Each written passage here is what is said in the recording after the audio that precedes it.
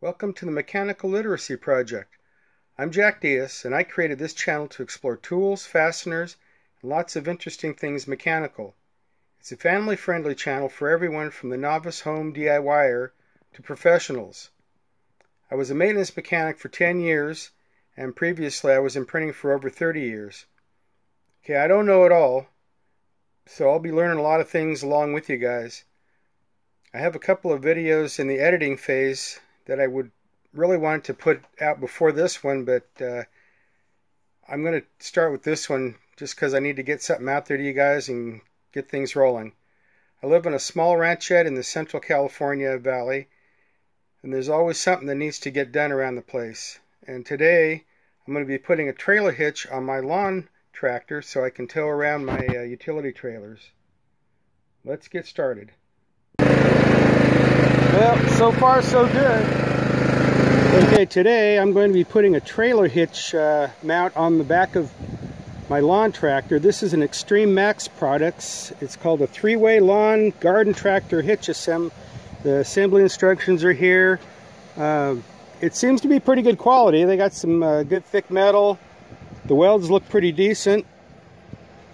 Um, anyway, let's get to it. We're going to put it on the back of this old beast and I'll be able to haul my uh, utility trailers around the property here. Uh, one thing I noticed right off the bat was they're giving the, uh, the, the bolts like this part number 10 here. It says that it is a 5 8 by 11 carriage bolt. Well, it is a carriage bolt, but looking at the head of it, let's see if we can see that very well. It says 8.8. And that throws up a big red flag that that is not a 5 8 that is a metric. Uh, an 8.8 grade is similar to a grade 5 uh, in the uh, English or the American standards. So I'm looking at the rest of these and yeah, these are all 8.8. So we got a lot of metric nuts and bolts here. Grade 5, that's pretty decent.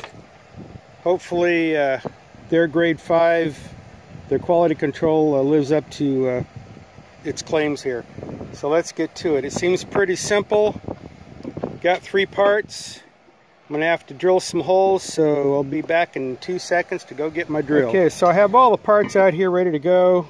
First thing they want us to do is to uh, put the uh, weld fitment on the uh, trailer hitch of the uh, lawn tractor. It's interesting they have an extra washer here, an extra large washer to go over the square end of the uh, carriage bolt. So we're going to drop that in first. Okay, I'll get that in. I'm going to drop it down through the plate here. We got a large flat washer and their uh, nylock nut and we're just going to put that on real loose so that way we can move things around and adjust. Now I'm looking at the back of this. They give you two options. They have a wide plate, and you can see that there's a wide plate and a narrow plate. Uh, this is for uh, guys that have the bagger attachment for their mower. They uh, usually use a narrow plate from what I've read online. The wide plate though, looking at it, where it's going to line up, it's not going to line up with those holes exactly. So I'm going to uh, use the narrow plate here. So our next uh, part here is uh, get some nuts or some bolts and some nuts in here.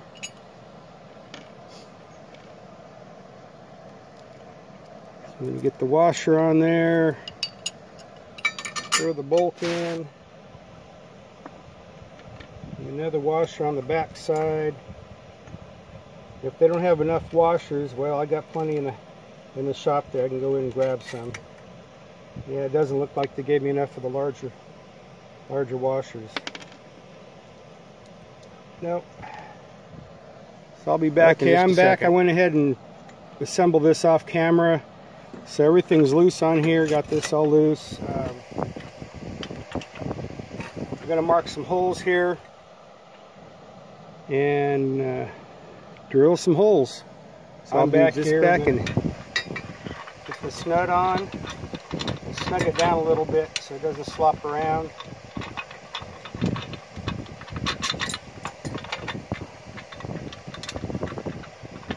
And I'm going to drill some holes. Okay, this uh, nut, it takes a 15 16 wrench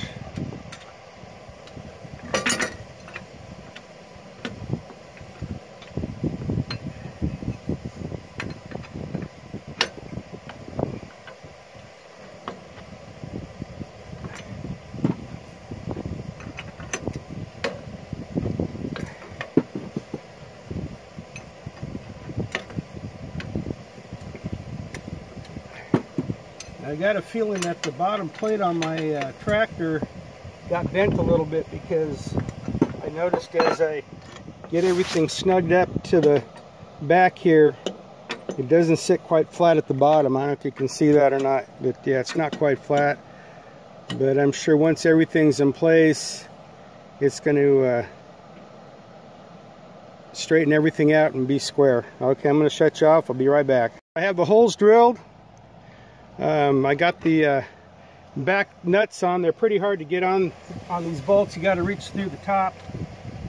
It's kind of like reaching into your right front pocket with your left hand, but it can be done.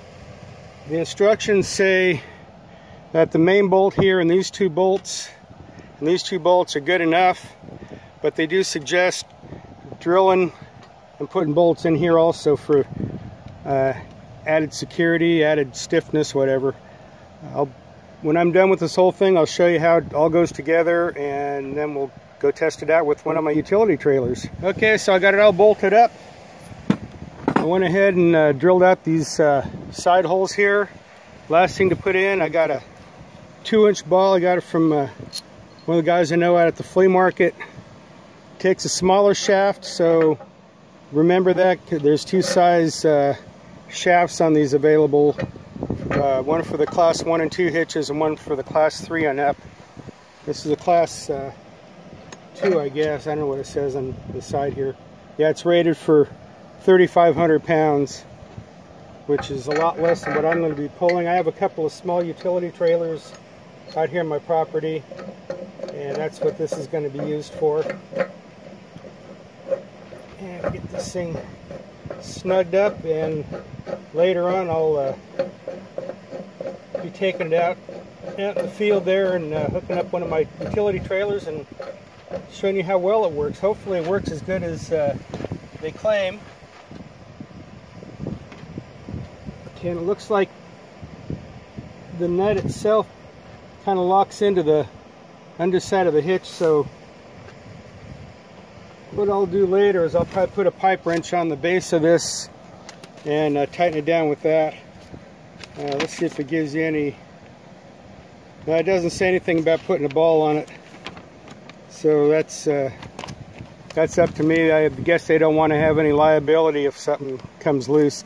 The three-way hitch now, it uh, has a trailer hitch ball and then it has a two flat plates. This is the same height as uh, the factory on my uh, lawn tractor for towing around uh, garden carts. I got three different garden carts that I've built, so I can use either use this one or this one.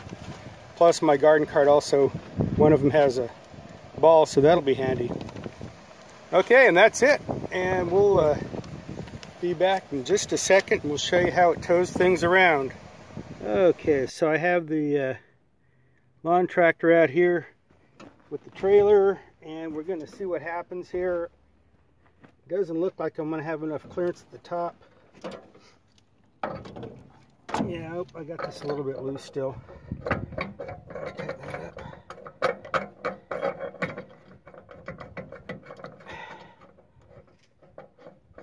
I had it loose earlier for something. I was checking. Okay. So what's I got a feeling, yeah. We got a little interference here, so I can't get everything quite the way I need it. It's not going to go down because the latch is pushing the thing that engages the hitch ball in down, so I can't lower it down all the way. let's try something real quick here since I have this loose. See if I can put it on this other hole here and see if that'll do the job. And if not, well, I may have to resort to some drastic measures here.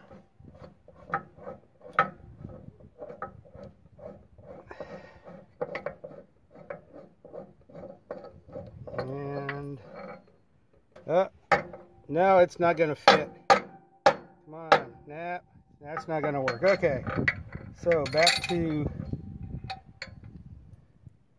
plan C now. Get this thing together.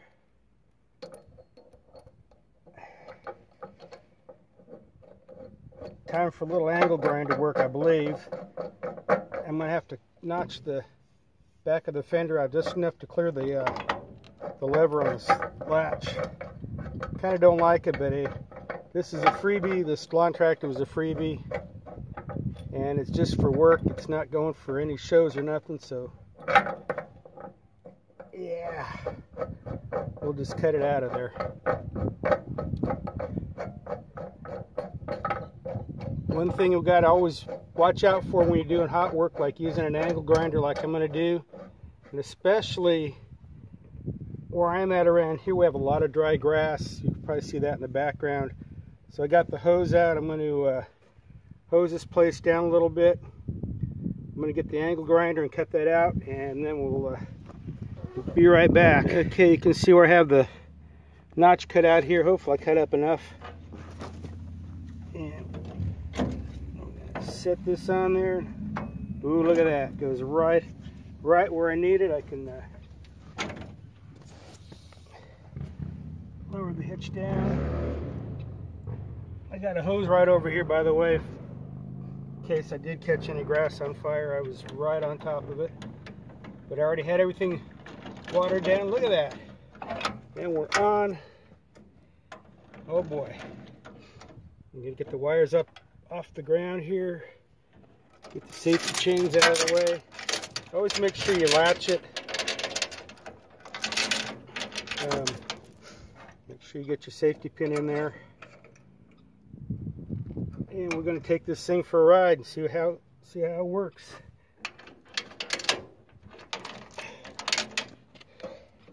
Hope you guys got some value out of this video. Um, if you did, please press the like button. I sure appreciate it. Okay, I have my lawn tractor hooked up. And this is the trailer that I'm towing.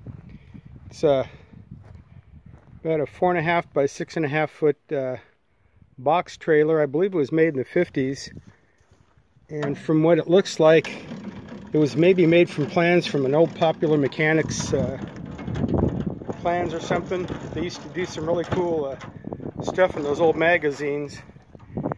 Uh, anyway, whoever built this, they did a really nice job back then. I mean, the the welds and the cutting, the, the step plates, you know, I couldn't I couldn't uh, even approach the workmanship that they've done in this, and uh, I just took and I stripped it down, put new sides on it, new uh, wheel bearings, new tires, new lights, so I can get it on the road. But the reason for the lawn tractor hitch is so I can uh, move it around my property. So we're going to take off in this thing and see what. All right, so here we go. Well, so far so good. Okay. Something I realized that I can't turn too tight. Uh, I got a little interference with the wheels, so I guess there's a little learning curve to this thing.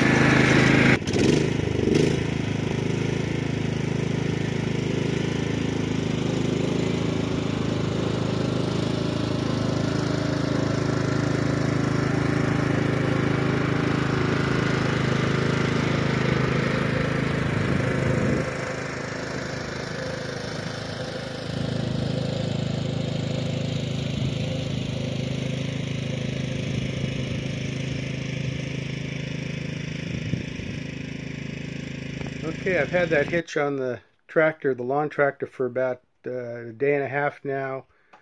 it around the property, uh, towing a trailer, and I tell you what, it works pretty good. It's a product that I could highly recommend.